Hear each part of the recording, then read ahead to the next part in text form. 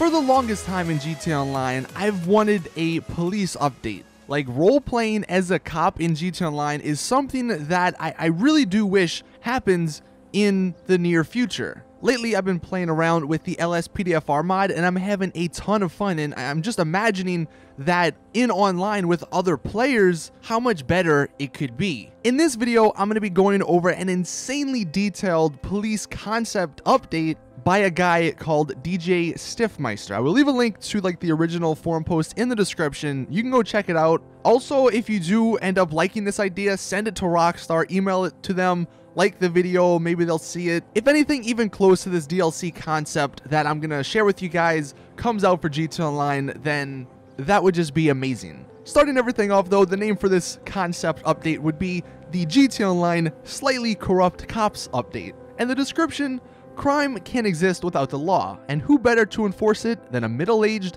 and slightly below average corrupt police officer. The LSPD is now hiring scrubs like you to put dirty criminal scum behind bars in the most controversial way possible.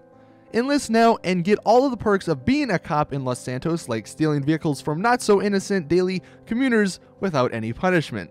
To actually become a cop, you go to the character selection menu, which can be found under the online tab in the start menu. And once you're there, you will be given an option to make a third character. This third character will be the police officer, and then you can change your appearance however you want, once you make the character, it will have a little cutscene where it shows you arriving at the airport, where you were then greeted by Steve Haines and you were driven to the Mission Row police station. You were then introduced to Howard Tucker, who was the chief of police at the Mission Row police station, who hands you your badge and is given you the rank of officer. Similar to how GTA Online begins, there would be a slight introduction or tutorial where this Tucker will take you through different events of training. The first one will take place at the gun range where you're handed a pistol and you're instructed to hit all the targets. Getting a gold medal will also give you a reward.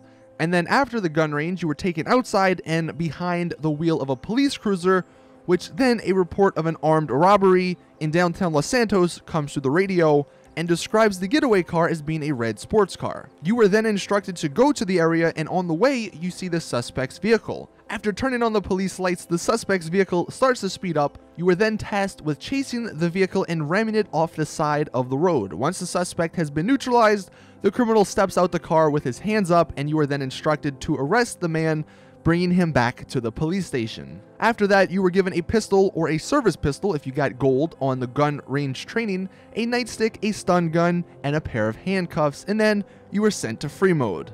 Now in free mode, there would be two separate modes for cops. There would be an off-duty mode and an on-duty mode. When you're off-duty, free mode is basically like it is now. However, you can still arrest people and call for backup, but to become on duty, you would go into the interaction menu and select the police option, and you would set it to on. Once you do that, you are prompted to drive to your police garage and get into a police vehicle. On duty would give you alerts on your screen when a player in free mode gains a wanted level over 2 stars. You can then choose to hunt that player down and arrest them, or neutralize them to gain a bonus. You can also take part in new free mode events as a police officer, as well as stop players from delivering stolen vehicles and other illegal goods. You can also choose to kill fellow police officers, but choosing to do so will give you a wanted level of 4 stars and will get you placed off duty with a 12 hour penalty. For the VIP stuff, you would be able to intercept briefcases from those events and deliver them back to back to the police station as evidence for a bonus as well. Just that alone, it sounds pretty damn awesome, but it gets even better. So when players actually have a wanted level and you decide to chase them down, everything else on the radar will disappear except for the suspect's icon and the police station icon. Once you get near the player, you can either choose to kill them or arrest them, and the player that you're chasing can choose to either surrender or keep running. Now, killing or arresting that player will gain you a government funding bonus, but an arrest will always gain you more, and that's kind of where the stun gun comes into place, so you can stun them, and then you can go arrest them without actually killing them. And to gain a bonus for arresting the player, you must get them in the back of your car and drive them back to the police station. Now he mentions that killing or arresting them will gain you government funding bonus, and that would be a new currency that would be added to the game. And government funds are basically money you get for being a police officer that will allow you to purchase police weapons or vehicles or special upgrades to cars or gear. And government funding would be earned from police missions, from raids, from free mode events, PvP jobs, and arrests. He says during a free mode event which requires you to deliver evidence like money back to the police station, you can choose to keep some for yourself or you can choose to keep all of it. If you do, however, you will be rewarded with less government funds as well as less RP. So you kind of have a choice here. Uh, you know, if you want more money, like real money to buy other stuff, or if you want police funds to sort of further you more into your police work. Getting into the ranks, he says that while playing as a cop in GTA Online, you can rise through the ranks of the police system by gaining RP. The ranks are as follows there's Officer 1, Officer 2, Officer 3, then there's Detective 1 to 3, Sergeant 1 to 3, Lieutenant 1 to 3, and then Captain 1 to 3, and then the last three are Commander, Deputy Chief of Police, and then the Chief of Police. Again, so far, this sounds pretty damn awesome, but we got even more. So if you are playing as a cop, you are no longer to do regular contact missions. However, now there would be police missions, which usually involve you retrieving evidence, chasing down criminals, as well as making arrests, and then ranking up will gain you access to new police missions. And the new update, since Rockstar loves their adversary modes, would feature a new adversary mode called Hostage Rescue, in which one team, the cops, have to try and rescue the hostages from captivity by the second team, the criminals. In addition to that new adversary mode, he says this concept update would bring two new free mode events. The first one is called Hold the Cash, in which a big dump of cash is left somewhere in Los Santos. Regular players can fight to the death to take it for themselves, but cops can work together to bring the cash back to a police station as evidence to receive in game cash, funds, and RP, or they can choose to keep a little themselves. The second free mode event coming with this new update is called Deliver the Stash where a car with drugs is placed somewhere on the map, and regular players can get in the car and deliver it for cash and RP, but cops can choose to deliver it as evidence to the police station for government funds. This next bit I don't think will ever come just because he says that it's kinda like the cop version of heists, and I don't, that's just a lot of work, but still, I'm gonna talk about it because they do sound amazing. So these would be raids. Coming with this update is five raids which will be replacing heists if you choose to play as a cop. Raids are unlocked after receiving an office at the police station, which is gained through reaching rank Detective 1. Once you reach the rank, you will get a call from Chief Tucker, who informs you about an investigation he wants you to carry out. Here are the five raids with their descriptions. So there's the Fleeca job bust, which requires two players, and following the robbery of a Fleeca bank near the Banham Canyon, the LSPD received an anonymous tip involving a bunch of wannabe bank robbers who plan to hit another Fleeca bank in Pillbox Hill. Investigate the tip and choose a way to catch the criminals with their pants down. The next one is drug trafficking bust. It requires four players. No one knows how drugs are being brought into Los Santos, but we always had a feeling it would be through the port of LS. And now one of our insiders is confirming.